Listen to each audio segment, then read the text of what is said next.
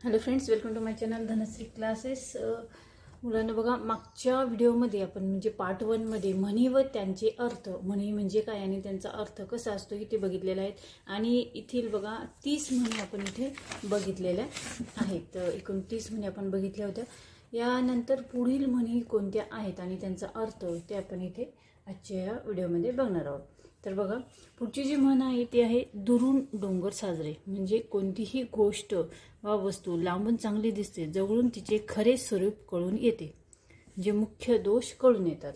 त्यानंतर पुढची जी म्हण आहे देश तसा वेश म्हणजे परिस्थिती लक्षात घेऊन त्यानुसार वागावे. त्यानंतर बघा पुढची म्हण आहे देव तारे त्याला कोण मारे? म्हणजे देवाची कृपा असल्यावर कोणीही आपले वाईट करू शकत नाही अशी भावना असणे. नंतर दैव देते कर्म नेते. म्हणजे अनुकूल परिस्थितीचा फायदा उठवता न येणे.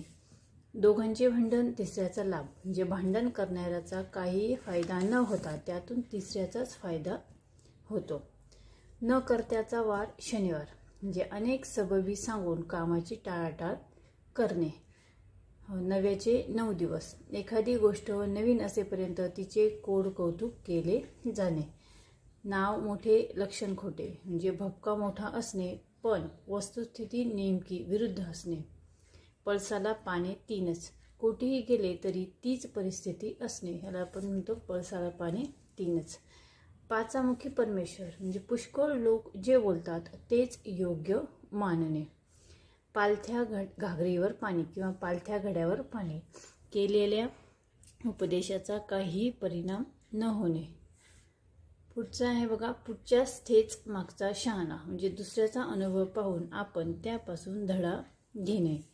बळी तो कानपिळी बलवान माणूस इतरांवर हुकूमत गाजवतो. बुडत्याचा पाय खोलात. बुडत्याचा पाय खोलात म्हणजे काय? तर माणसाची अवनती होऊ लागली म्हणजे ती अनेक बाजूंनी होऊ लागते. भित्यापाठी ब्रह्मराक्षस म्हणजे भित्र्या माणसावर अनेक संकटे कोसळतात. भीक नको पण कुत्रावर ज्याच्याकडे मदतीच्या अपेक्षेने जावे त्याच्याकडून मदत न मिळता उलट संकट ओढवणे. पुढची आहे बघा मऊ सापडले म्हणून कोपरने खणू नये. कोपराने खणू नये. म्हणजे एखाद्याच्या चांगुलपणाचा गैरफायदा घेऊ नये. मुलीचे पाय किंवा मुलाचे पाय पाळण्यात दिसतात. म्हणजे एखाद्याच्या भावी कर्तबगारीचा अंदाज त्याच्या बालपणीच बांधता येतो. मनी वसे ते स्वप्नी दिसे. म्हणजे जशी इच्छा असेल तशी स्वप्ने पडणे. लहान तोंडी मोठा घास. आपल्या योग्यतेस न शोभेल असेच वर्तन करणे. असे वर्तन करणे. त्यानंतर पुढची म्हण आहे बघा. लेकी बोले सुने लागे. म्हणजे एकाला उद्देशून पण दुसऱ्याला लागेल असे बोलणे. शीतावरून भाताची परीक्षा. म्हणजे एखाद्या वस्तूच्या छोट्या भागावरून संपूर्ण वस्तूची परीक्षा करता येणे. शेरास असावा शर.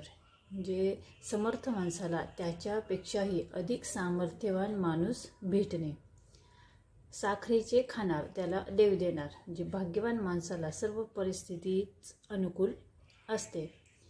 सत्तेपुढे शहाणपण नाही. ज्याच्या हाती सत्ता आहे त्याच्या मतापुढे इतरांच्या मताला काहीच किंमत नसणे. हत्ती गेल्याने शेपूट राहिले. म्हणजे कार्याचा मोठा भाग पार पडून गेला. पण थोडेसे कार्य शिल्लक राहणे.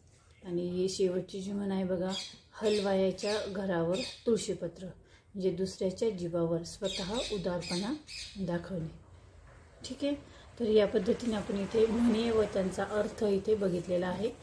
तर हा जो व्हिडिओ आहे तुम्हाला कसा वाटला मला कमेंट्स करून नक्की कळवा. जर व्हिडिओ आवडला तर व्हिडिओला लाईक करा शेअर करा आणि चॅनलवर नवीन असेल तर चॅनल सबस्क्राईब करा. व्हिडिओ बघितल्याबद्दल धन्यवाद.